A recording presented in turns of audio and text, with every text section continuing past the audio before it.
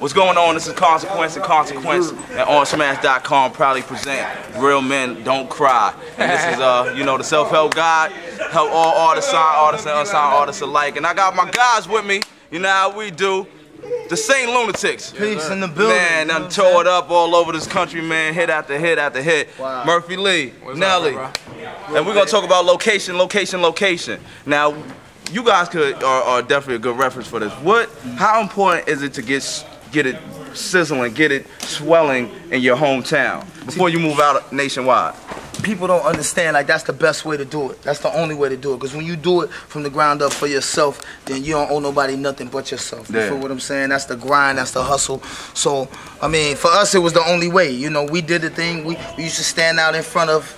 You know, the hottest clubs, passing out our demos, going to all the ciphers, wrecking the ciphers, going to every talent show known possible from across the St. Louis metro area, Yeah. getting in that, hustling, hollering at the DJs. I mean, it was a 24-7 grind, you know, so yeah. then nobody hand us nothing. Yeah. So that's why we're real fortunate to be in the position that we're in right now. You guys have uh, one of the better support systems in, in hip hop as far as like uh, interacting with each other's projects. Just explain to me how how like the creative process when you know when you do your album, when Nelly does his album, how how how do you guys bounce off of each other to, to, to make sure that you put out the best product possible? It's not it's not hard. It's not hard because like you said, like it's it's Midwest, so you, it's like a gumbo of music. You know what I'm saying? Mm-hmm. So you get a little bit of everything. Then it's five of us in the group, Yeah. so we touch every little spot anyway. You know what I'm saying? So when Nelly's working on his project, we know Nelly feeling. You know what I'm saying? Like he like his this way, and all of us come into that world. When you're doing a Murphy Lee album, it's all about that feeling. You know what I'm saying? So it's not a hard thing at all, especially when you're dealing with family. Definitely. But people don't know with this man, when we started this,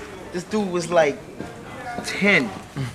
You feel what I I'm was, gonna, saying? I was Like, gonna be a feature at This first. dude wasn't was it? like, 10. He wasn't be a even, feature, man. he wasn't even in the group. You know what I'm saying? So to watch him come to where he is right now is is is is, is, That's is, beautiful. it's incredible because you saw it coming. You know what I'm saying? He studied, he watched, he learned, and he he basically mastered all of us. yeah, you know what I'm saying? real, They took us to a whole nother level. So you know to see that come through is a beautiful thing. Yeah, that's real T. This is Consequence OnSmash.com. Real men don't cry. The Saint Lunatic Nelly Murphy Lee. Location, location, location. I holla at you.